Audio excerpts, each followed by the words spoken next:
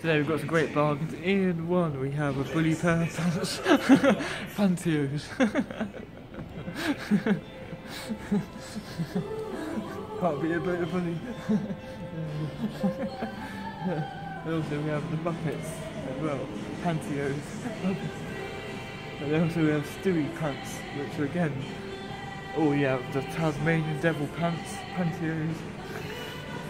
Or you have, again you have more Muppets, or you have Superman pants. for that extra breeze.